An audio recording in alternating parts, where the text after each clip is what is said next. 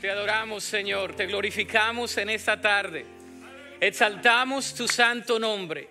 Señor, tú estás aquí. Te damos gracias por el regalo de tu presencia. Dale gracias a Dios. Dile, Señor, gracias por el regalo de tu presencia. Gracias, Señor, porque tu Espíritu Santo está aquí, oh Dios. Y donde está tu Espíritu hay libertad. Señor, gracias porque estás aquí para ministrar a cada corazón. Gracias Señor porque estás aquí, oh Dios, para llegar a lo más recóndito de nuestra vida. Porque en los momentos más difíciles, en los momentos de tanta necesidad, tú estás con nosotros. Y te damos gracias Señor porque tu presencia, porque tu Espíritu Santo está aquí, oh Dios. Señor, quita cualquier carga. Señor, quita cualquier pena. Quita, Señor, cualquier tristeza. Quita cualquier dolor, cualquier distracción. En esta oportunidad, oh Dios, queremos estarnos enfocando en ti, en tu palabra. Queremos, oh Dios, que nos hables de la manera que solamente tú lo puedes hacer. Gracias, Señor. Te damos gracias, oh Dios. Dale gracias a Dios. Dile gracias, Dios. Gracias, Cristo.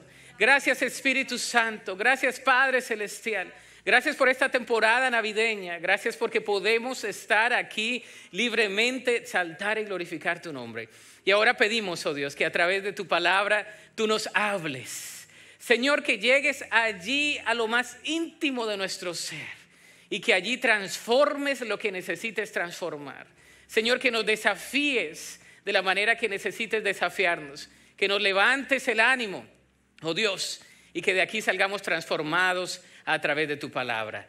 Habla, oh Dios, que queremos escucharte en esta tarde. En Cristo Jesús. Amén y amén. Dele un aplauso fuerte a Cristo. Qué bendición estar aquí. Qué bendición es estar aquí en esta tarde. Damos gracias a Dios por su palabra. Gracias a Dios por sus promesas. Y gracias a Dios por su presencia en medio nuestro. Si hay algo especial en la vida de nosotros es la presencia.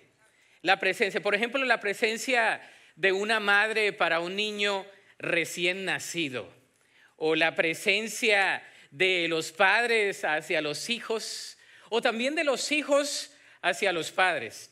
¿Qué tal la presencia de los nietos para sus abuelos? ¿Cuántos abuelos hay aquí? Uno que otro, ¿no? Los abuelos. ¿No? A veces eh, están los niños ahí, está el abuelito, y el abuelito que era bien gruñón cuando crió a su hijo, ahora le sale todo el corazón, ¿no?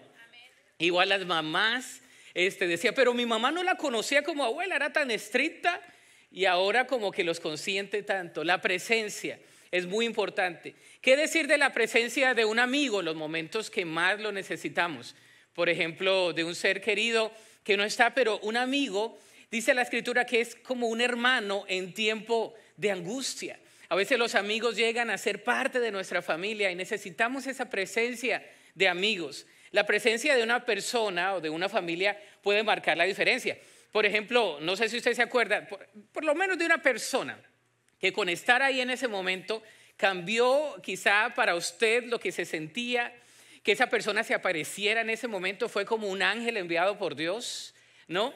Dios envía personas de esa manera.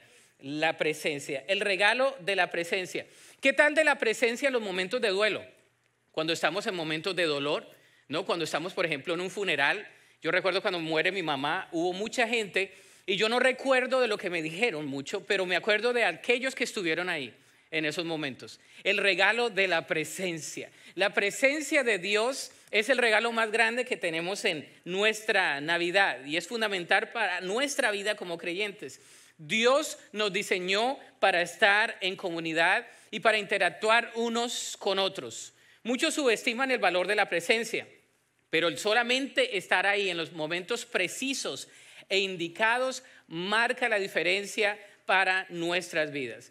¿Recuerdas el momento donde Dios fue tan tangible en tu vida?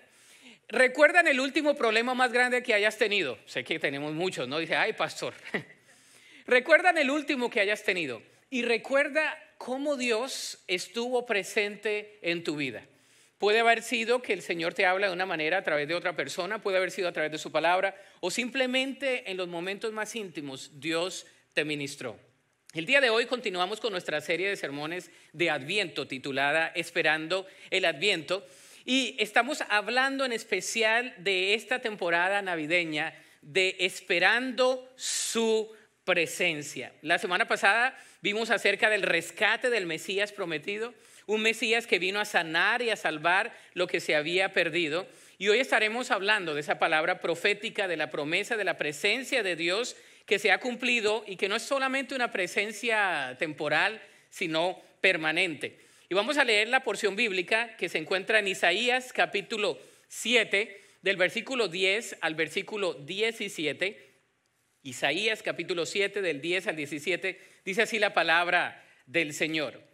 Más tarde, el Señor le envió al rey Acaz el siguiente mensaje. Acaz, pídele al Señor tu Dios una señal de confirmación. Hazla tan difícil como quieras, tan alta como los cielos o tan profunda como el lugar de los muertos. Pero el rey se negó. No, dijo el rey, no pondré a prueba al Señor así. Entonces Isaías le dijo, escuchen bien ustedes familia real de David. ¿Acaso no les basta con agotar la paciencia humana? ¿También tienen que agotar la paciencia de mi Dios?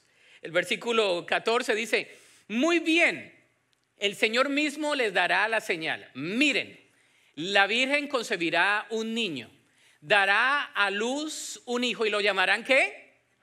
Emanuel, que significa Dios con nosotros. Cuando ese hijo tenga edad suficiente para escoger lo correcto y rechazar lo malo, estará comiendo yogur y miel. Pues antes de que el niño tenga esa edad, las tierras de los dos reyes que tanto temes quedarán desiertas. Versículo 17 dice, luego el Señor hará venir sobre ti, sobre tu nación y sobre tu familia hechos como nunca hubo desde que Israel se separó de Judá, pondrá al rey de Asiria en tu contra. Que Dios bendiga su palabra. Les he dicho que si van a comenzar a leer la Biblia, no comiencen por Isaías porque no la van a entender. Pero es un libro profético y es un libro muy lindo. Así que el día de hoy vamos a hablar de qué significa la presencia de Dios. Y le voy a pedir que saque su tenedor, su cuchillo, porque vamos a entrar a, la carne espiritual. Y si no lo trajo, es figurativamente. Yo sé que va a comer luego. Algunos factores que suelen denotarse de este pasaje bíblico. Por ejemplo, este es un pasaje rico y lleno de puntos cruciales que nos muestra la promesa de la presencia de Dios en el contexto del pueblo de Dios, pero también con una connotación futura. Los pasajes bíblicos proféticos tienen una relevancia actual, pero también tienen una connotación futura. Es sí y ahora, pero también a por venir. Así es Isaías. Y lo primero que vemos aquí es su presencia a pesar del rechazo. La presencia de Dios a pesar del rechazo. El versículo 10 al versículo 13 nos habla de que el Señor le envió al rey Acaz un mensaje. Le dice, pídele al Señor tu Dios una señal de confirmación. Hazla tan fácil como quieras, tan alta como los cielos o tan profunda como el lugar de los muertos. Pero dice la escritura que el rey se negó y dijo, no, rey, entonces Isaías le dijo, escuchen bien ustedes familia real, ¿acaso no les basta con agotar la paciencia humana? ¿También quieren agotar la paciencia de mi Dios? ¿De qué está hablando esto? Bueno, los asirios, y a los que les gusta la historia, vamos a entrar un poquito en la historia. Los asirios eran un pueblo perverso y brutal. Sus hazañas y abusos eran su carta de presentación para intimidar a los pueblos alrededor. Por ejemplo, los pueblos circunvecinos ellos mutilaban, asesinaban y después colgaban los cuerpos de sus enemigos, sanguinarios. Una película de terror le queda chiquita. También hacían collares y usaban la piel de sus oponentes para mostrarla abiertamente e intimidar a los demás. ¿Se imagina? No mire acción, ni películas de terror. Ahí está en la Biblia. Era un pueblo totalmente perverso, lleno de atrocidades y perversiones. Es así como Israel y Siria forman una alianza en contra de Asiria. Y por eso trataron de convencer a Judá. Acuérdese que los reinos del norte y los reinos del sur, Israel y Judá estaban diferentes, las tribus, diez tribus y dos tribus. Y desde allí dice la palabra del Señor que ellos querían convencer a Judá, al rey de Judá, para que se uniera a la causa.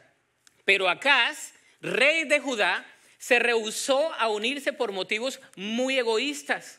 Debido a su terquedad, ellos deciden enfrentarse a Judá para reemplazarlo y entonces habiendo mucha conmoción en esos momentos. En ese momento había un alboroto en el país y en ese momento es donde vienen las palabras del profeta Isaías. El rey acá se siente en presión y prefiere aliarse con Asiria que para destruir a sus enemigos. Imagínense, Acaz prefiere aliarse con un pueblo totalmente pagano en vez de aliarse con sus hermanos para derrotar a otros. ¿Se imagina eso?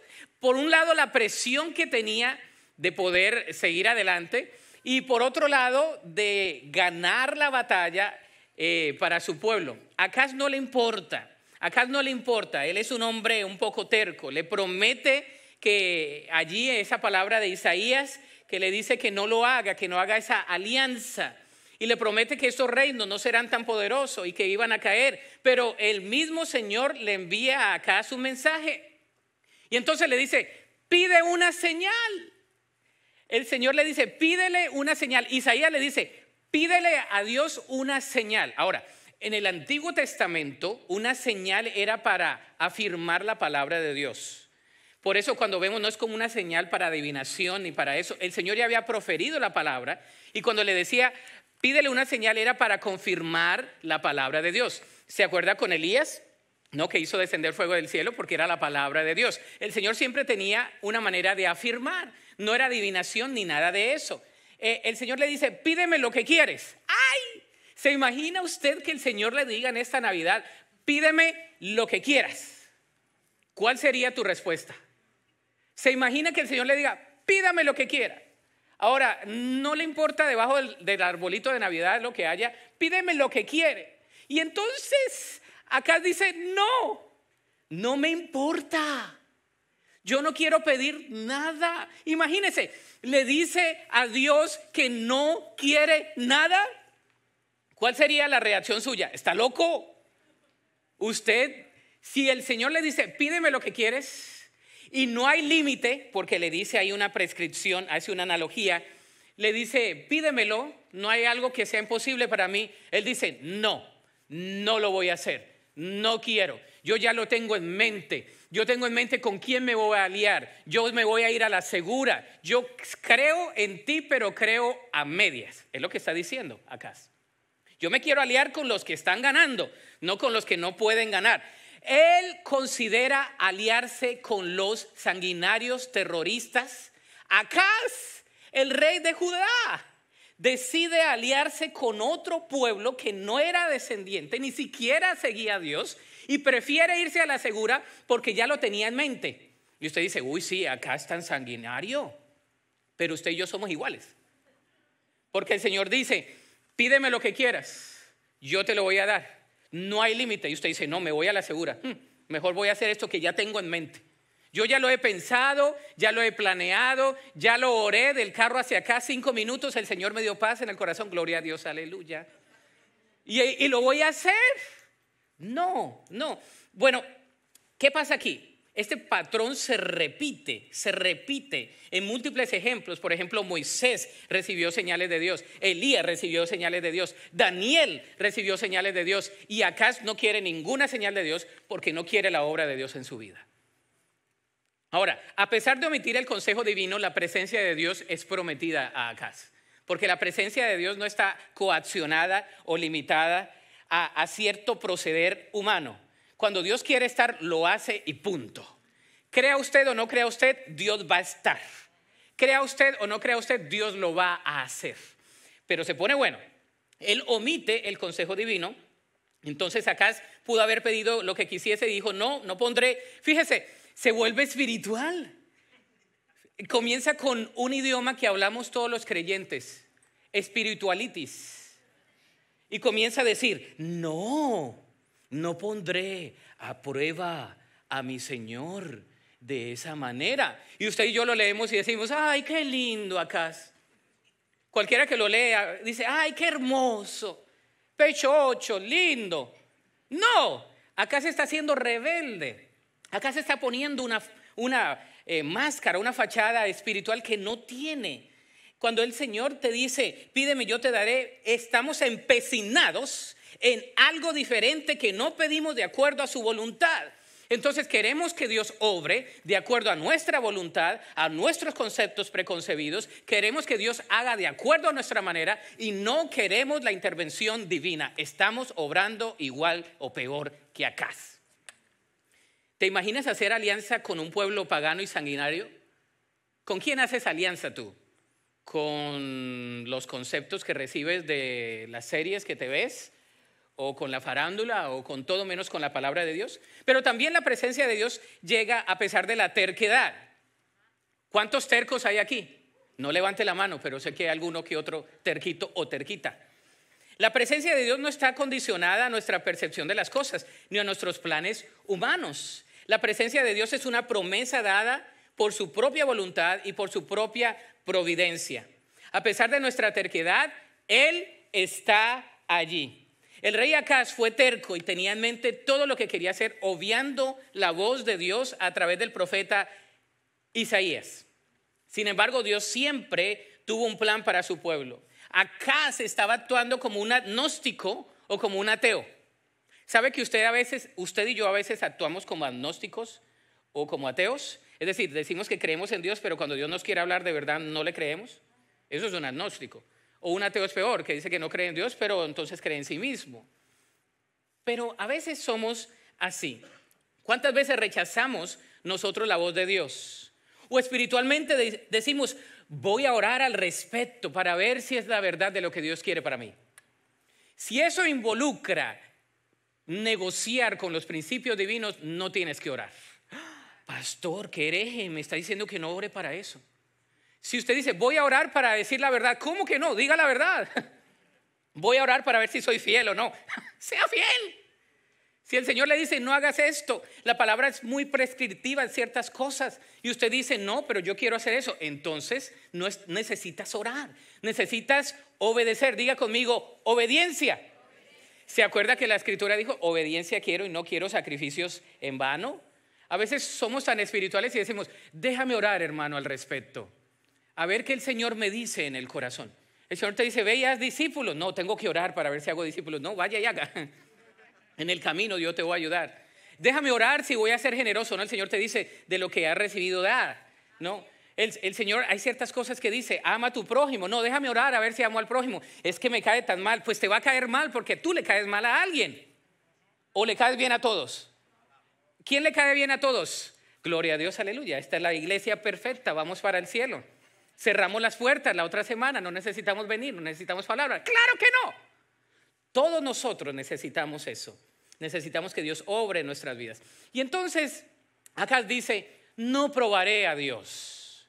Qué lindo somos nosotros también cuando le decimos a Dios, yo no voy a probar a Dios. No lo voy a probar a Él. La respuesta de Dios a través de Isaías en el versículo 13 es impresionante. Dios no estaba cansado no solo de la terquedad de Acaz, sino que también menciona a todos los descendientes de David, es decir, a todo el pueblo. Entonces, como él responde así, tan terco, dice, ¿hasta cuándo tendré que lidiar no solamente contigo, sino todos los que están alrededor tuyos? es decir, un pueblo terco y duro de servicio. Ese era el pueblo de Israel. Segundo, su presencia es una promesa. Es ahí donde viene la promesa divina. Versículo 14 dice, muy bien, el Señor mismo les dará la señal. Miren, versículo 14, la Virgen concebirá un niño, dará a luz un hijo y lo llamarán ¿qué? Emanuel, que significa Dios con nosotros o Dios está con nosotros. Es así como el pueblo, en medio de la terquedad y del pecado, la palabra de Dios se revela firmemente, aseverando la expresión muy bien. ok, el Señor dice, ok, ustedes son tercos, ya lo sé, muy bien, no importa, yo voy a enviar a mi Hijo Cristo. Es en ese contexto donde el Señor dice, ok, muy bien, ya los he escuchado, son tercos, no quieren seguir, muy bien, el Señor mismo les dará la señal. Si usted no quiere señal acá, ay, hasta ahora usted sabe qué es lo que está hablando esta historia. ¿Cuál es la señal? La señal que acá no quería la señal de la presencia de Dios, Dice, la Virgen concebirá un niño, dará a luz un hijo y lo llamarán Emanuel, que significa Dios está con vosotros. La expresión virgen era necesaria para mostrar la pureza en la cual estaba esta joven que iba a ser usada por Dios, una mujer soltera y temerosa de Dios, apartada para esta tarea. ¿Y cuál era la tarea? La tarea del vientre para la encarnación del Mesías. Dios afirmaba su plan de redención hacia un pueblo terco y duro de servir, hacia una humanidad completamente perdida y una humanidad completamente desviada. ¿Y cómo lo hizo? Lo hizo a través de su encarnación. La señal espiritual más grande de la historia es la encarnación del Hijo de Dios en forma humana. Su encarnación muestra el milagro más grande que puede haber existido en toda la humanidad. El Señor se despojó para darnos a nosotros todo. Él se vació, dice la palabra de Dios. La palabra lo dice muy bien en Juan 1.14. Fíjese lo que dice la palabra de Dios ahí. Dice, entonces la palabra se hizo hombre y vino a vivir entre nosotros. Estaba lleno de amor inagotable y fidelidad. Y hemos visto su gloria, la gloria del único Hijo del Padre. ¿Cuál es la promesa? La promesa de la encarnación de Cristo. Ahora, encarnación no es el nombre de su tía nada más. La encarnación es el hecho mediante el cual Dios de su divina providencia decide despojarse de su trono, enviar a su Hijo Cristo para que se encarne, para que se haga hombre. Y de esa manera, esa persona sintiendo, caminando, actuando, valorando, haciendo la obra, la gloria de Dios se encarnó para que el pueblo terco que no sabía que tenía que ver con los ojos pudiera seguir la luz de Cristo. El Señor se encarnó al estar siempre con nosotros. El nombre Emanuel, Dios con nosotros, es una promesa cumplida a través de Cristo. La promesa de Jesús es la promesa más grande para toda la humanidad. Dios siempre estaría con su pueblo. Dios siempre está cercano a todos los que le busquen de corazón. Para acá esta promesa no hacía tanto sentido, ya que él necesitaba una solución rápida, como muchos de nosotros. Acá necesitaba una solución ¿qué? Rápida. Cuando usted tiene un problema, usted dice, pero yo necesito una solución ya para mañana, ¿no? ¿Para qué voy a orar? Eso necesito es ahorita mismo. Y entonces la palabra de Dios dice que aquí Acaz fue terco. Acaz fue tan terco que ni siquiera escuchó la voz de Dios, fue supuestamente espiritual y esa promesa del bebé era doble, tanto para Acaz como para el pueblo de Israel. ¿Qué significa para nosotros? Simplemente ya no estaríamos solos para Acaz tendría la presencia permanente de parte de Dios. ¿Sabía usted que usted y yo somos el templo del Espíritu Santo? Dice la palabra de Dios que usted y yo somos el templo del Espíritu Santo. Acaz no quería nada que ver con el consejo divino. Acaz era terco como usted y como yo. Y no solamente acá, sino todo el pueblo que él dirigía. Y el Señor dice, hasta acá, hasta acá llegó mi amor por ustedes, que la terquedad suya no me va a dejar a mí con mi plan en las manos. Voy a enviar a Jesús. Tenemos esa bendición de la presencia permanente de parte de Dios y la provisión en la relación eterna con Él.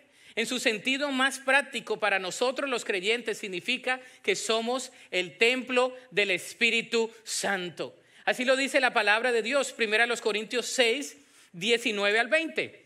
Fíjese lo que dice la palabra de Dios. Ahí dice, ¿No se dan cuenta de que su cuerpo es el templo del Espíritu Santo, quien vive en ustedes y les fue dado por Dios? Ustedes no se pertenecen a sí mismos porque Dios los compró a un alto precio. Por lo tanto, honren a Dios con su cuerpo. La palabra de Dios es tan linda porque nos dice que ahora nosotros somos el templo del Espíritu Santo. Eh, su cuerpo es el templo del Espíritu Santo. Es decir, usted y yo ahora tenemos la bendición de poder tener a Cristo en nuestro corazón. ¿No se alegra usted por eso? Ahora, la promesa vino no solamente a un pueblo, no solamente vino acá siendo terco, sino que la promesa viene a cada uno de nosotros. Dice la palabra de Dios que la gloria de Dios habitó entre nosotros. Y la gloria de Dios habita entre nosotros a través del poder del Espíritu Santo de Dios. ¿Y cuántas veces nuestra vida necesita ser transformada por Dios todos los días? ¿Cuántas veces Dios necesita cambiar nuestros preceptos preconcebidos constantemente? ¿Cuántas veces Dios necesita obrar en nuestro corazón diariamente? ¿Cuántas veces Dios nos tiene que corregir muchas veces? Diariamente. Pero nosotros somos como acá, haciendo caso omiso a la voz de Dios y somos espirituales, ¿no? Porque decimos, este, estoy orándole al Señor para ver si puedo ser obediente en esa situación, hermano. Hermano, puede orar por mí, hermano, este, y somos espirituales queriendo espiritualizar algo que no tiene que ser tan espiritual. La obediencia es práctica. Cuando el Señor nos dice algo, lo tenemos que hacer. Y en la obediencia hay fruto apacible, pero a veces la obediencia es dura, ¿no? ¿Cuántos crecieron con padres firmes? Levante la mano. Fuertes, ¿no? Que con una mirada movía todo. ¿Cuántos dicen amén a eso? No, que nada más la, la mamá lo miraba uno de aquí hacia allá y con esa mirada ya pasaba todo. O si no, volaba la chancla o lo que fuera, ¿no? La chancla voladora o, el plato volador o la, lo que fuera. ¿No? ¿Cuántos crecieron con esa mamá? Y si la tiene al lado, el Señor ya la perdonó. Pero la obediencia cuesta, ¿no? La obediencia cuesta en todo. Si usted quiere algo apacible, le va a costar. Si usted quiere un fruto apacible en algo, le va a costar. Si quiere un fruto apacible en un árbol, le va a costar agua en el árbol, cuidado al árbol. Si no, no le va a dar fruto, le va a crecer y va a ser revejido, va a ser pequeño, no va a dar fruto, se le va a quemar. ¿Por qué? Porque no invirtió. La palabra de Dios nos dice que somos templo del Espíritu Santo. Ahora, Dios no habita en templos hechos por hombres. Dios habita en el corazón del ser humano. Dios no habita en otro lugar, Él quiere habitar en nuestro corazón. Y dice que quiere que el, sello del Espíritu Santo esté allí con nosotros. Tercero, su presencia es real y es eterna. Versículo 15 y versículo 17, mientras seguimos hablando de esto, dice, cuando ese hijo tenga edad suficiente para escoger lo correcto y rechazar lo malo, estará comiendo yogur y miel. Y usted dice, uy, pero qué bueno, ¿no? Está comiendo yogur y miel, saludable. Espérese un momentito. Pues antes de que el niño tenga esa edad, las tierras de los dos reyes que tanto temes quedarán desiertas. Luego el Señor hará venir sobre ti, sobre la nación y sobre tu familia hechos como nunca hubo desde que Israel se separó de Judá. Pondrá al rey de Asiria en tu contra. ¿Qué quiere decir eso? ¿Se acuerda? Asiria, un gobierno totalmente sanguinario, sacaban las pieles de sus oponentes y las ponían al frente, intimidando a todos. Eran un pueblo de terror. Pero en medio del conflicto está la presencia de Dios. Sabes, la presencia de Dios aparece más palpable en los momentos de más necesidad. La presencia de Dios es más viva en los momentos de más dolor. La presencia de Dios es más real en los momentos de sufrimiento. La presencia de Dios es más eh, apacible, palpable en los momentos más críticos de la vida. A veces queremos que la presencia de Dios nos acompañe en todo momento y sabemos, pero la presencia de Dios es más vivencial en los momentos de más dolor. Piensa en el último problema que tuviste, te lo vuelvo a decir. ¿Cómo saliste de ese problema? ¿Cómo Dios intervino en ese problema? Aquí hay un contraste entre lo temporal y lo eterno. El versículo 15 nos habla de una realidad momentánea para acá. Quizás su hijo iba a comer yogur y miel. Y para nosotros en nuestros días del siglo XXI usted dice, uy, pero su hijo va a comer yogur y miel. Esa es una dieta muy light. Está siguiendo la dieta buena. No. Acuérdese que un texto fuera de contexto es un pretexto. Fíjese, en este contexto, lo que está diciendo es que esa dieta era considerada como una comida no proveniente de una tierra grande, de una tierra rica, sino de una tierra pobre y desolada. Usted dice, ¿y está diciendo eso? Sí, está diciendo que esa comida se comía cuando no se encontraba nada más. Yogur y miel. Y usted dice, ay, ahora yo compro yogur en las mañanas y me lo como tan rico. Pero en este contexto que está hablando la palabra de Dios aquí en Isaías, quiere decir que cuando acá se estaba haciendo esa alianza con alguien que no seguía a Dios y que el pueblo iba a caer en desolación, esa realeza, e, esa abundancia iba a padecer. Porque cuando tú y yo estamos en pecado, nada prospera. Y ahí ya nadie dijo amén, porque ese evangelio no, no vende. El evangelio que vende es todo lo puedo en Cristo que me fortalece, Filipenses 4:13, eres un campeón, aleluya, gloria a Dios, levanta las manos, confiesa la palabra de Dios, todos somos campeones, campeón, campeón, campeón, campeón, campeón, campeón, ¿verdad? Sí, la hago, ¿no? Es fácil predicar de esa manera. Pero predicar el Evangelio puro es difícil. ¿Por qué? Porque hay que confrontar el pecado. Y cuando confrontamos el pecado nos va a incomodar. Y cuando enfrentamos el pecado y lo enfrentamos, usted dice, hay áreas de mi vida que Dios quiere cambiar y yo no quiero cambiar. Hay áreas de mi vida donde Dios quiere entrar y yo no le quiero dar puerta abierta. Así es el Evangelio. Así es el Evangelio. Para Acaz, lo que precisamente Acaz temía fue lo que le iba a pasar. Acaz, Acaz dijo, me voy con la segura y me voy a aliar con los más sanguinarios porque vamos a ganar. no, se alió con aquellos que no debía aliarse. Y la pregunta es, como siempre, ¿con quién nos estamos aliando? Porque Acaz dijo, yo me voy a la segura y voy a ganar.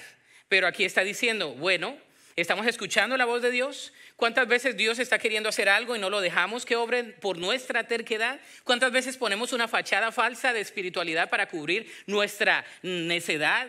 Nos muestra la tendencia humana que tenemos a descarriarnos del camino y a seguir nuestra propia voluntad, en seguir la voluntad de Dios que nos cuesta.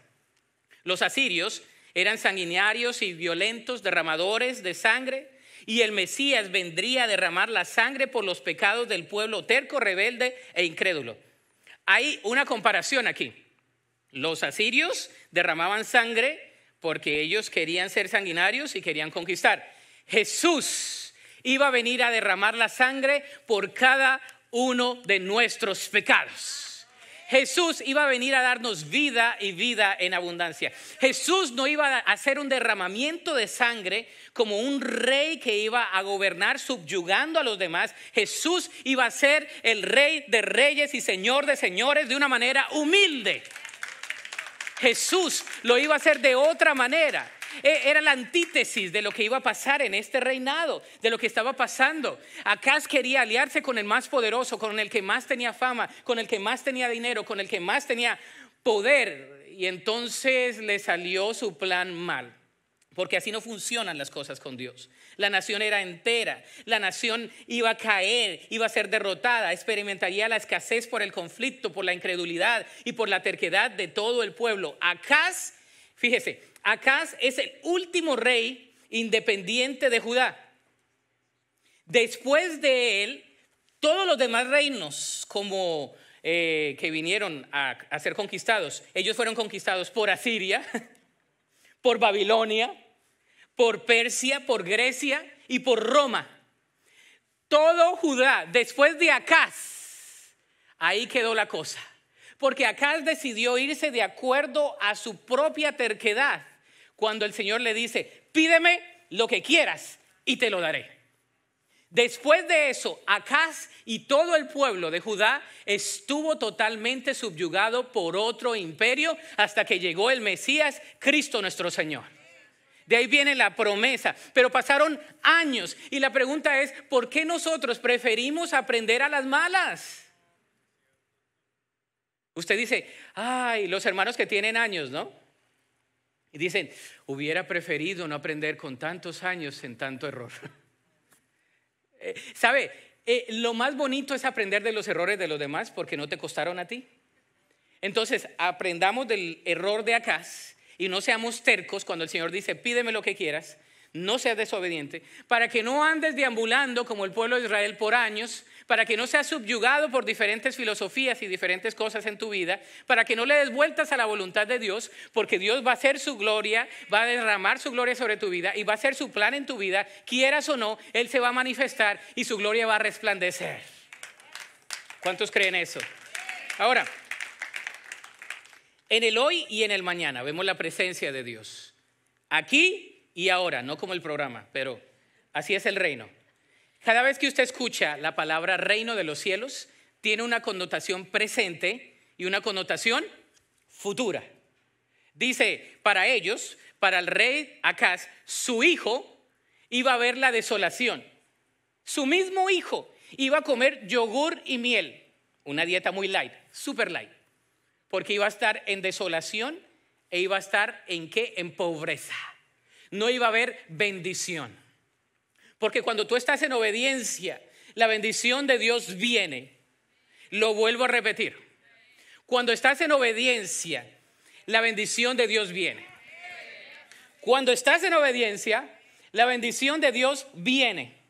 Y te va a costar la obediencia, te va a incomodar la obediencia, pero Dios te puede bendecir a través de tu obediencia. Yo no quiero que en nuestra iglesia seamos como acá. Yo no quiero darle vueltas a la voluntad de Dios. Yo quiero escuchar la voz de Dios, que cuando Dios me dice, pídeme, no hay límite, que yo le diga, sí Señor, quiero pedirte esto para hacer tu voluntad, para servirte mejor en esta Navidad, en el hoy y en el mañana. Hebreos 13, 8 dice, Jesucristo es el mismo ayer, hoy y siempre. Él es el mismo ayer, hoy y siempre. Él es consecuente con sus promesas. Y Él ha dicho, yo estoy aquí para librarte, para levantarte, para apoyarte. Yo estoy aquí para sanarte, yo estoy aquí para levantarte. El Señor está aquí. ¿Cuál es la aplicación? Porque a veces escuchamos los sermones y no aplicamos nada. Bueno, su presencia llena nuestro corazón. Y si tú no tienes a Cristo en tu corazón, entonces no tienes la presencia de Dios en tu corazón. El Salmo 16, 11 dice, me mostrarás la senda de la vida. En tu presencia hay plenitud de gozo. Léalo conmigo. Me fascina esa traducción. Por eso la dejé la Reina Valera ahí. Me mostrarás la senda de la vida. Léalo conmigo. En tu presencia hay plenitud de gozo, delicias a tu diestra para siempre. Yo quiero más de la presencia de Dios. Hay, un canto, ¿no? Este, no sé quién lo escribió, que dice, yo quiero más, yo quiero más, yo quiero más y más de ti, Señor. Y así se la lleva, ¿no? No dice nada más el canto. Pero me fascina porque e, e, eso es querer la presencia de Dios. Yo quiero más de ti, Señor, todos los días. Yo no quiero más de mis conceptos y más de mis errores porque de eso tengo bastante. Si no, pregúntele a mi esposa. Yo quiero más de quién? Del Señor. Quiero más de Él, quiero más de su presencia. Entonces, su presencia llena nuestro corazón. Segundo, su presencia nos quita todo el temor. Éxodo 33:15 dice, y Moisés respondió, si tu presencia no ha de ir conmigo, no nos saques de aquí. me fascina este hombre. Moisés es uno de mis héroes. ¿Se acuerda que yo le digo que es uno de mis héroes? ¿Sabe por qué es mi héroe? Porque Moisés lo único que recibió fueron quejas del pueblo de Israel. Nunca hay un episodio. Todavía espero que me muestre un episodio y lo invito a un lunch bien sabroso.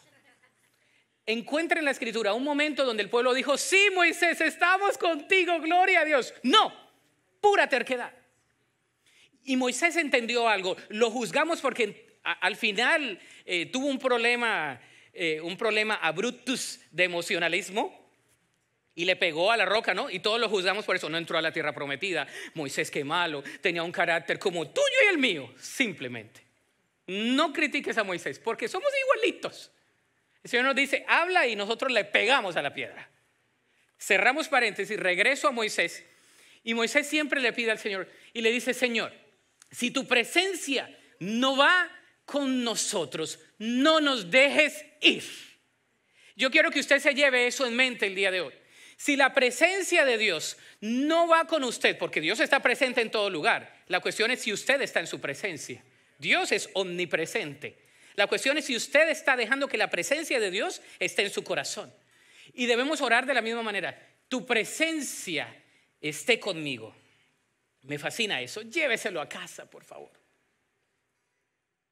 Tercero, su presencia permanecerá para siempre. Mateo 28, 20 dice, enseñen a los nuevos discípulos a obedecer todos los mandatos que les he dado. Y tengan por seguro esto, dos puntos, que estoy con ustedes siempre. Uf. Yo quiero que usted tome un, un momento para nada más recibir esa palabra. Porque dice que estoy con ustedes siempre hasta el fin de los tiempos. Qué bendición. Qué bendición es esa. Que la presencia de Dios esté conmigo. Y usted dijo, bueno, ¿y ese regalo qué fue? ¿Sabes? En la Navidad todos queremos un regalito, ¿no? ¿O nadie quiere regalo? No les digo, acá tampoco quieren regalo. Bueno, yo sí quiero, si me quiere regalar. Pero todos queremos un regalo.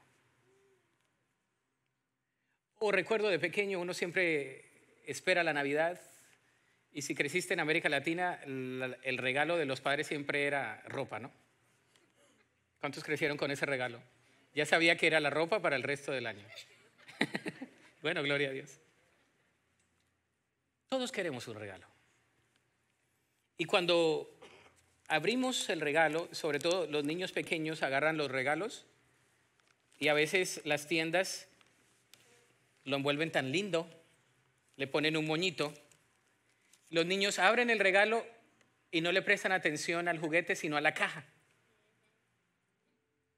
¿Fue su hijo, su hija así de pequeño? Casi todos los niños hacen eso. ¿Por qué lo llevo a esa ilustración? Porque a veces nosotros somos así.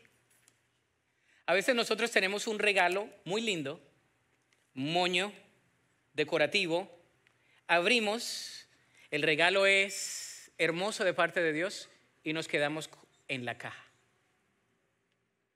El día de hoy, el regalo de Dios para nosotros es su presencia. Amén. Y sabes, yo quiero que te lleves esto a mente porque yo así aprendo yo. Soy deductivo, pero soy muy inductivo en mi manera de pensar. Si te acuerdas de esto, por lo menos eh, de aquí a un año, ya la hicimos. El regalo de Dios es su presencia. No te quedes con la caja, quédate con lo que viene adentro. ¿Y sabes cuál es lo que viene adentro? El Espíritu Santo. Yo te voy a pedir que te pongas sobre tus pies en esta tarde.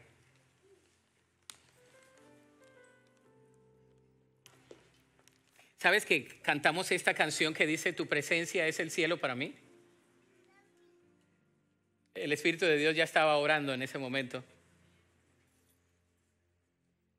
Porque Dios quiere que su Espíritu Santo sea un regalo para nosotros. Y Él quiere ministrar nuestro corazón. Yo te voy a invitar el día de hoy, en este tiempo de respuesta, a venir a Cristo. Y que le diga, Señor, tu presencia es lo que más necesito el día de hoy. No sé cómo viniste, viniste quizás como Acaz, un poco terco, incrédulo, o quizás como el pueblo confundido, o quizás no traías nada en tu corazón, pero llegaste, qué bueno que llegaste. Pero lo que Dios quiere de ti el día de hoy es tu corazón. No quiere nada más, así como eres. Dios no quiere que finjas, Dios no quiere que seas alguien más, Dios quiere ministrar tu corazón. Mientras cantamos este cántico de adoración, que dice, tu presencia es el cielo para mí. El altar está abierto y tú dices, Señor, aquí estoy delante de ti. Yo quiero que tu Espíritu Santo me ministre. Yo quiero que tu Espíritu Santo me toque una vez más. Espíritu Santo, tú que estás aquí, toca mi corazón. Ven al Señor, cantemos. Dile, Señor, tu presencia es el cielo para mí.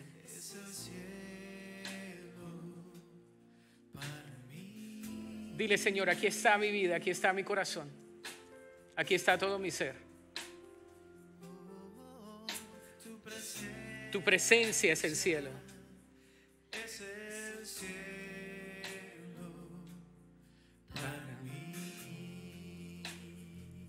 Cántale al Señor una vez más. Tu presencia, Señor. Dile tu presencia. Es el cielo.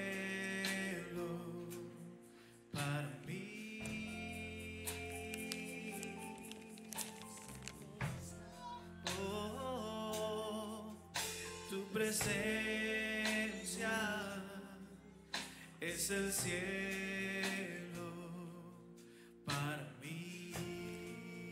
Dile lo que dice esta, esta expresión, Cristo, oh Cristo, porque ese es el regalo.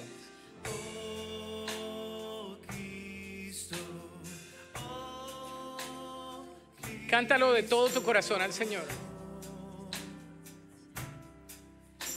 Presencia es el cielo para mí. Dile.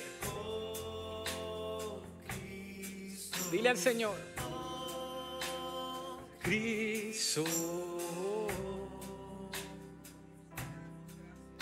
Tu presencia es el cielo. Díselo una vez más. Dile, Señor, tu presencia. Oh Cristo.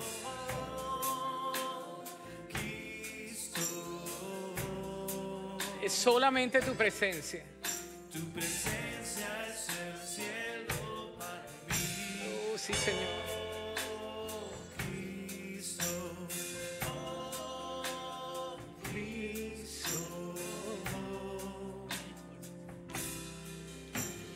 Presencia es el cielo para mí.